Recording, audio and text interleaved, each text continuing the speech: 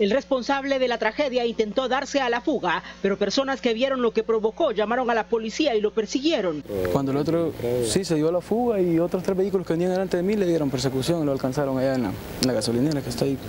Jonás Amilcar López, de 31 años de edad, terminó esposado y el alcotés confirmó su estado.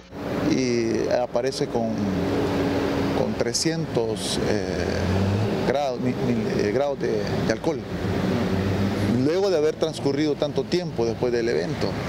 Quiere decir que este sujeto andaba eh, con un grado mayor al momento que ocasiona este, este accidente. Todo ocurrió sobre la 49 Avenida Sur en la colonia Flor Blanca.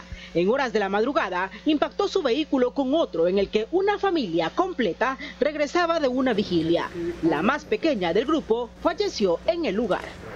Sí, la, la niña tenía cinco meses, la niña y lamentablemente falleció. Eh, no, en el momento del accidente nosotros veníamos de norte a sur, ¿verdad? Entonces fue cuando un vehículo que venía en el sentido hacia el hermano lejano impacta contra el vehículo accidentado y se da la fuga. Hace que gire en trompo y ya se encontraban varios lesionados ahí en el momento del impacto. Los demás quedaron lesionados y fueron trasladados al hospital.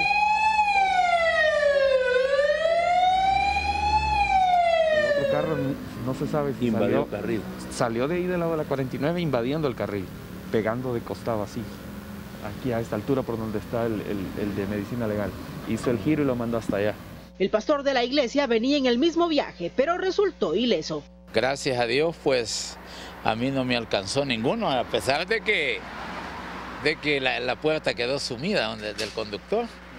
Pero gracias a Dios, milagrosamente, no me alcanzó ningún impacto a mí. ¿no? Ahora, este sujeto deberá responder por los daños materiales y por la muerte de la bebé.